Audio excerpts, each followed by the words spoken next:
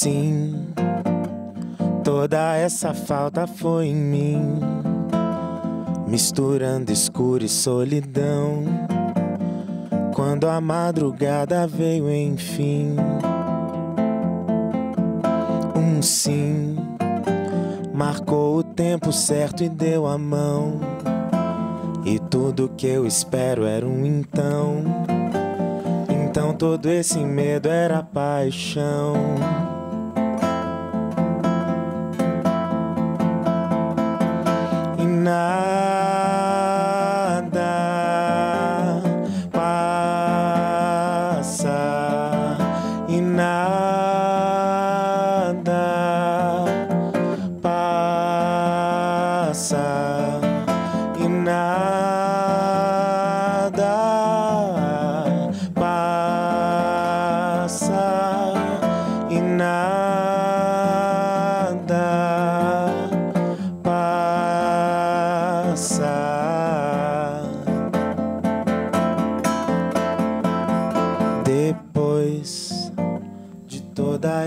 Falta era nós dois.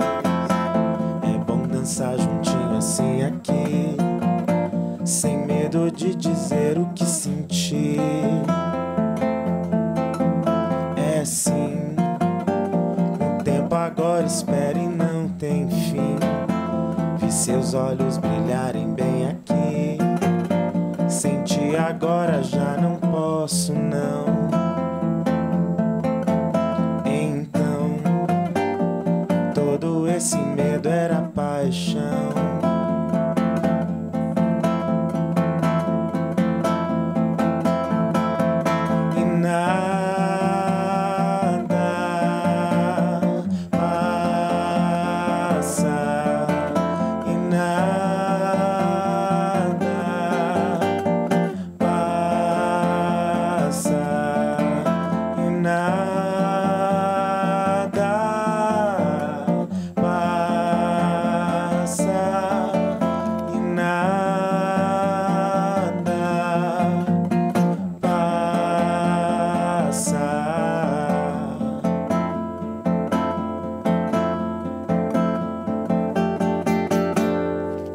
Aê, que lindo! Esse foi Guiar Grives, nosso artista convidado de hoje, que acaba de lançar seu terceiro disco, Rebento. Primeiro nas plataformas digitais, né, Gui? É, esse lançamento acontece primeiro digitalmente e daqui umas duas semanas chega o disco físico e aí vem os shows com, com lançamento de CD. Mas hoje em dia é muito diferente, né? É, As tem uma estratégia- de outro jeito. É uma nova forma de ouvir música, né? É, assim, é engraçado que não tem muito onde ouvir CD hoje mais, né? A maioria das pessoas não usam mesmo. Mas eu sou super adepta do disco físico ainda, do disco adoro. ainda? Mas do disco vinil ou do CD? Eu gosto do CD, mas é, Ah, é? lá em casa tem aparelho de vinil também. Assim, que a, pra capa é fantástico, né? Você É. ter o, o vinil ali é uma obra de arte, assim. É. Tem gente que gosta do som também.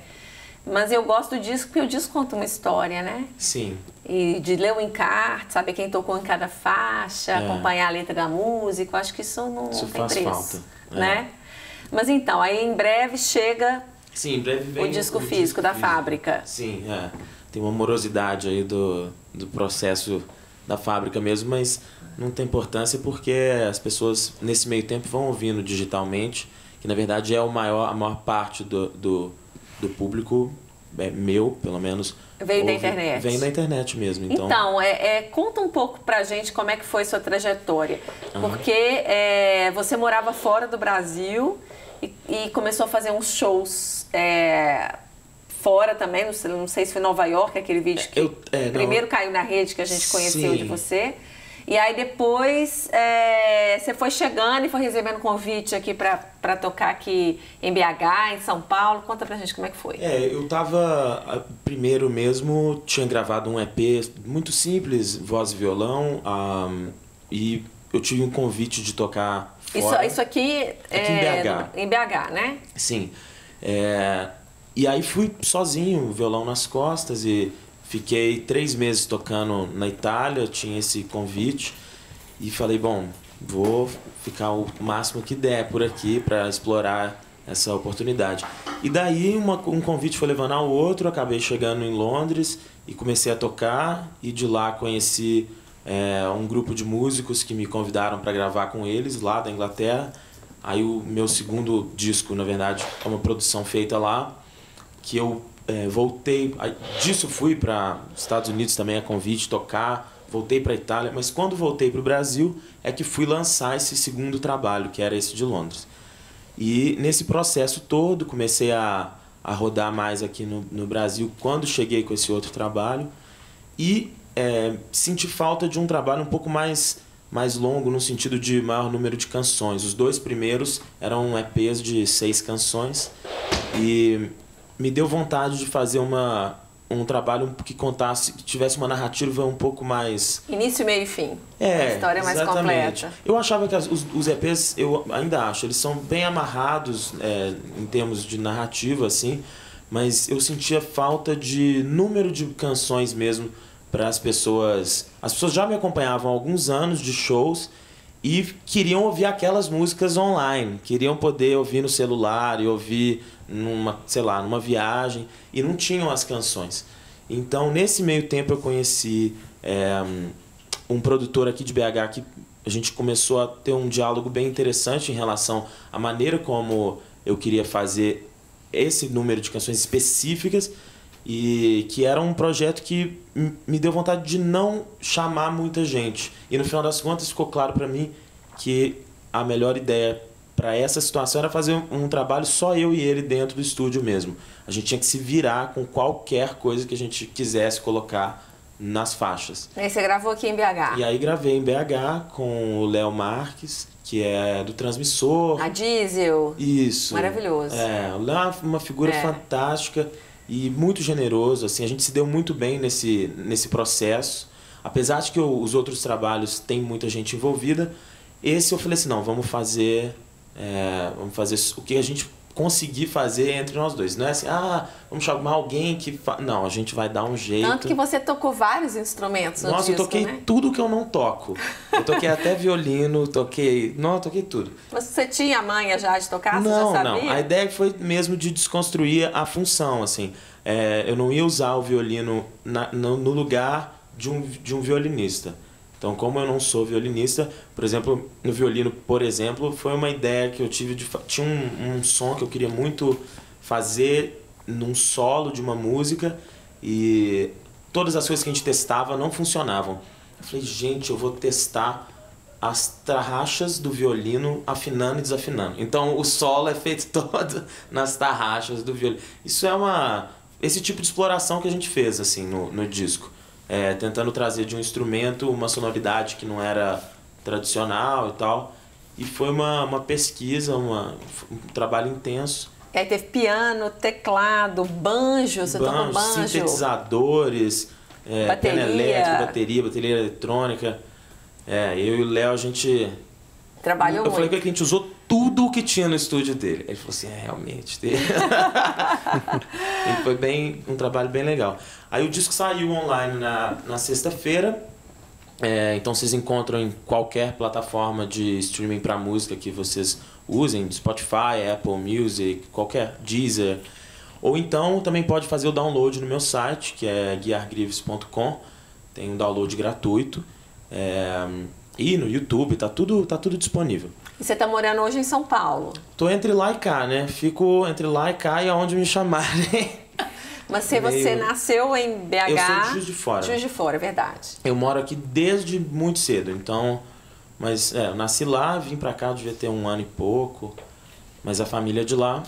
E... E aí agora eu tô nesse processo de... Então vou lançar daqui a pouco o físico chega, então as pessoas que quiserem comprar, quiserem ter o, o disco é, tá quase.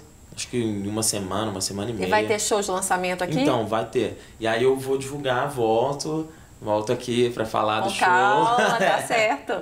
E a ideia é fazer BH, São Paulo, É, a ideia Rio, é sair rodando. É. Igual no ano passado também. eu acabei fazendo uma turnê, foi até interessante, assim, um mês e meio, dois meses, eu fui a cinco estados, 12 cidades, rodei um bocado até para artista independente. No começo foi bem canseira.